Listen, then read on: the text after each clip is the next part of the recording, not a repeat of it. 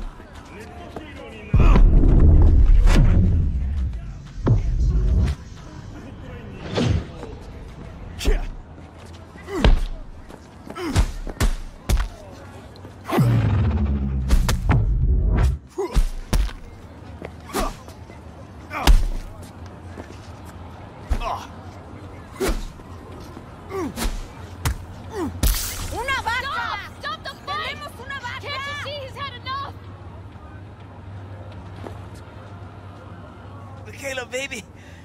Oh, I'm sorry. Shit. I... Not another word, you pendejo. Hand over the stupid keys and let's go home. Here. Spoiler for me.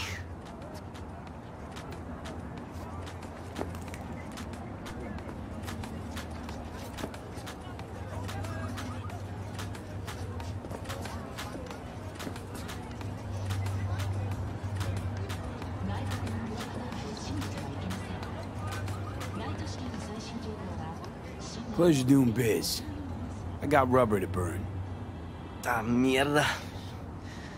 She was a beauty.